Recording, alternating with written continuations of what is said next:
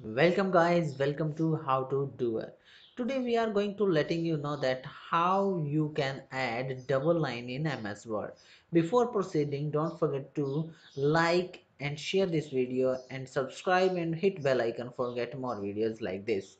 Now as you can see in front of you these type of two lines i mean double lines can be inserted by very easily. First of all we will tell you a proper channel way and after that don't forget to skip the video because we are going to telling you the best trick that will be help you very easily. For first of all you have to just go to this uh, insert button and then you have to go to shapes. After that you have to choose a line from over here you are this this line is over here you have to just press it and after that press and hold and keep dragging where you want to draw a line. After that leave it. And after you want to make a double line go on this and you will find these type of options from over here.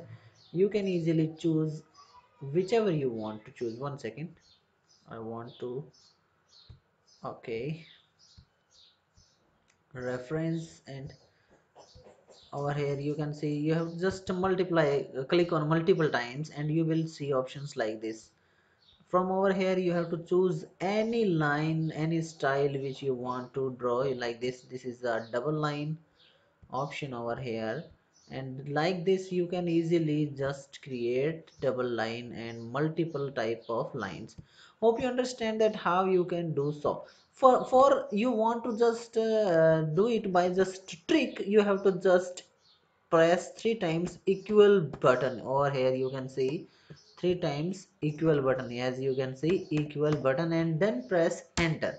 When you press enter you can see a straight two or double line in front of you. Yes you can see this is a straight double and two line in front of you. Hope you understand that how you can draw a double line in uh, the MS word of you. Like this video don't forget to like share with your family and friends.